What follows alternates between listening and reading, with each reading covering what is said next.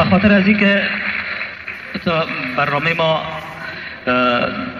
خستکن بر شما تمام نشه یگان پارچه های تمثیلی خدمت شما تقدیم کنیم. گرچه فکایی ها زیاد است. خب میریم اما تو آیسته آیسته به نوبت مو فکایی آرم میگن روز از روزها یک بچه که ازارگی از ازارجات آمد برای تحصیل در کابل.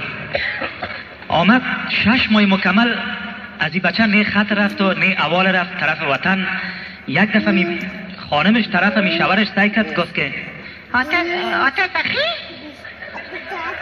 آتا سخی.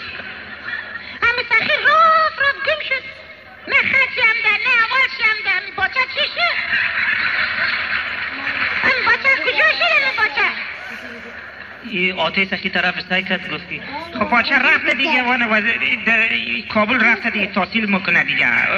مکتب خور خانه ده. خوی بچه بابش آدرس بچه را پیدا کرد و آمد پانتون. به مجرد که در پانتون دلیلیه داخل شد گفت که همی کاته سخی همیجه خب پرسان کرد بالاخره اتاق سخی را پیدا کرد.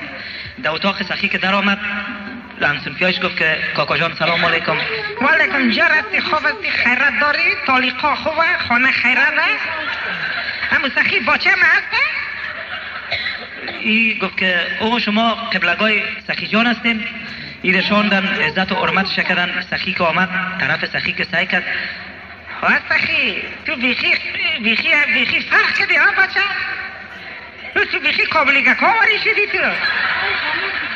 ای در جانی هست تو چی تنگ ها چی جا کردی تو خدا ای بچه فامید حال بابیم دیگه گپ نزند گفت که آتای چو باش که بعد گپ نزن بعد ای بچه ها باز مرا شوخی می‌کنه گپ نزن و بچه ای شوخیشی چیه خود چند روز بعد رفت خانه وقتی که در خانه رسید کل قصه را برای مادر سخی کرد مادر سخی گفت سخی دیگه سخی خوبه؟ سخی دیگه و سخی نه است. و سخی که ماوت پش ماوتو بود و سخی نه است. بیخی قابلگک شده.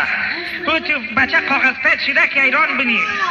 بینیشی بلند شده. یا یک چیزی شده کتابه یک چیزی دیگه ما فهمیدی امی آتر چی مگه؟ چی مگه؟ امی آتر ما شما آتر میگم نه من مرا آتر سخیستم نه. و ما فهمی که آتر چی مگه؟ ما که رفتم اندی والایشی مرشان در اونجا در دیگه رفیقای خوب مگه که قلبگه بی سخیه. آتر قلبگه صاحب گفت دیگه. تشکر.